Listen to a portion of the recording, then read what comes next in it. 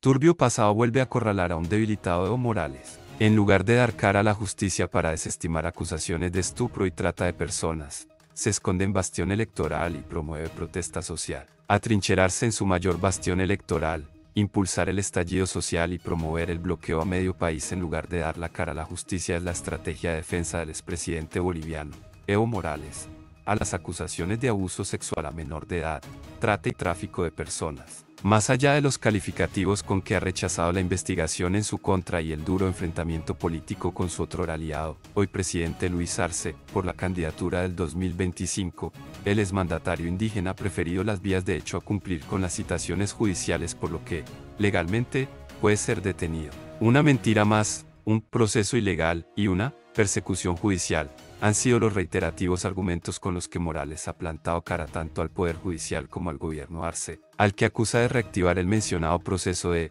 violación a una joven de 15 años para impedirle buscar la candidatura del izquierdista Movimiento al Socialismo, más, del que fue fundador. Desde mediados de septiembre, la Fiscalía del Departamento de Tarija lo citó en dos ocasiones para que rinda su testimonio dentro de un nuevo proceso por estupro, trata y tráfico de personas, hecho que se remonta a la época en que el líder indígena fungió como presidente, en 2015. La orden de aprehensión expedida el pasado 26 de septiembre por fiscal del caso, Sandra Gutiérrez, detalla que Morales se involucró con una menor de 15 años con quien tuvo una hija en 2016. Según la misma, los padres de la menor, también investigados, la inscribieron en la Guardia Juvenil de Morales, con la única finalidad de escalar políticamente y obtener beneficios, a cambio de su hija menor, lo que configuraría el delito de trata de personas. La mencionada orden de arresto quedó sin piso al ser removida sorpresivamente del cargo la fiscal Gutiérrez, pero una vez restituida y ante la negativa de Morales de comparecer en dos ocasiones a la justicia se expedirá otra.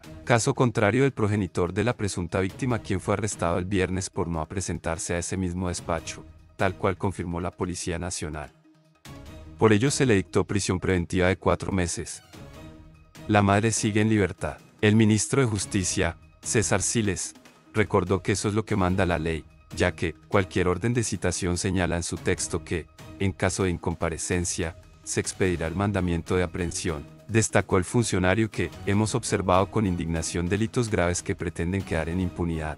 Me refiero concretamente a una niña, a una niña violada a sus 15, a sus 16 años. Según Siles, producto de esa violación, la madre, engendró a otra niña y el padre reconocido en un certificado de nacimiento, es el señor Evo Morales Aima. Existe un proceso abierto que está en curso de investigación, enfatizó el ministro. Como era de esperarse, el exmandatario indígena calificó la denuncia como otra mentira más. Agregó que en 2020 ya había sido investigado por los mismos hechos, demostrándose que no hubo nada y que el actual proceso es ilegal, por lo que no comparecería. Sin embargo, la fiscal Gutiérrez, quien fungió como ministra de Justicia de uno de los gobiernos de Morales, 2006 a 2019, reabrió el proceso contra su antiguo jefe para investigar no solo el estupro, que implica acceso carnal con menores de 14 a 18 años, sino una posible trata y tráfico de personas. De allí que el ojo judicial se amplía a la actuación de los progenitores de la víctima. El líder cocalero de 64 años,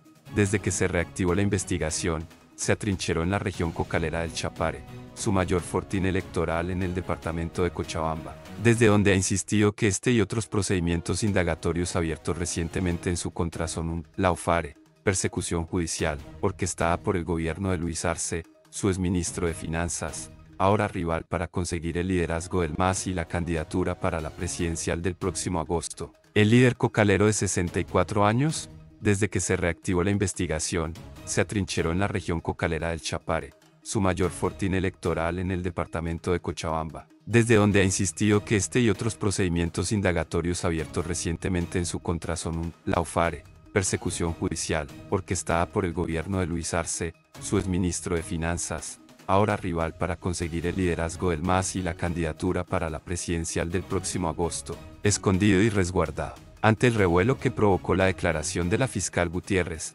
exactamente hoy hace ocho días, los seguidores de Morales dijeron que su líder está resguardado en algún lugar de la región de Chapare, en el centro de Bolivia, ante el riesgo de ser capturado. Hermanos y hermanas del trópico, Chapare, se han movilizado clandestinamente, se han constituido en los vigilantes, en los guardaespaldas, en los protectores de la vida de Evo Morales, afirmó su exministro y abogado Carlos Romero, mientras que el líder indígena, sin dar pistas sobre su paradero, escribió en X, seguiré luchando junto a nuestro pueblo, junto a mis hermanas y hermanos que nunca me abandonaron. Y desde la clandestinidad ha promovido la movilización de indígenas y campesinos que hoy completa cuatro días, con amenaza de radicalizarse. Organizaciones de la paz, Potosí, Chuquisaca y Santa Cruz se suman desde hoy a las protestas que comenzaron el lunes e interrumpirán el tráfico en esos departamentos, advirtió Humberto Claros, secretario de la Confederación Sindical Única de Trabajadores Campesinos. Las protestas mantienen aislado al departamento de Cochabamba, en el centro de Bolivia, donde Morales tiene su base política y permanece resguardado. Esto es a nivel nacional.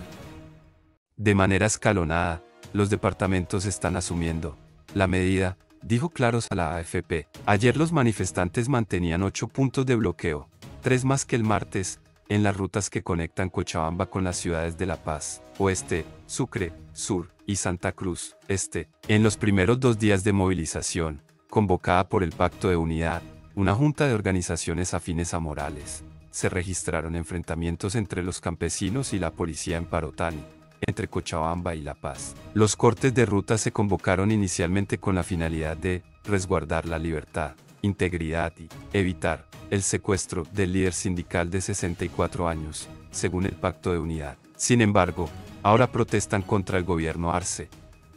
Sus reclamos se centran en la crisis económica, causada por la escasez de combustibles y dólares, así como el repunte de la inflación. Pero en el trasfondo estas protestas buscan mostrar la fuerza política de Evo Morales, quien se ve de repente enfrentado a su pasado, el que como dice el refrán no perdona.